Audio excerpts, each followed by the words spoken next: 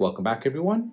In this video, I'll show you how to enable or disable 5G on your Samsung S22 series phones running Android 12.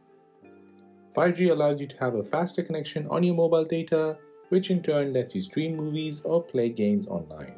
There are times when you have come to a location where there are not enough 5G cell towers, so your phone will keep switching between 4G and 5G. This in turn will use your phone battery. To avoid this, let me show you how to disable and enable 5G connection when required.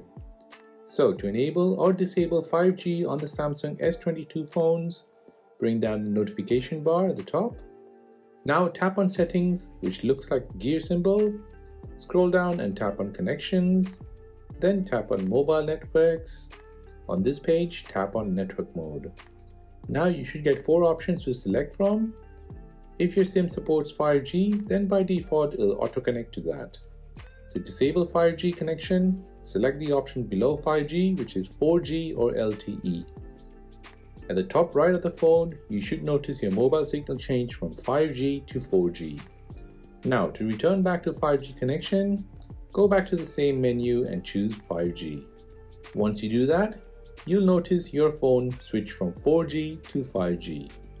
And that is how to enable or disable 5G connection on your Samsung S22 phones running Android 12. If you have made it to the end of this video, then please hit the like button and most importantly, please consider subscribing to this channel for more videos like this. If you have any other questions, then please do let me know in the comment section down below. Thanks for watching and see you in the next one.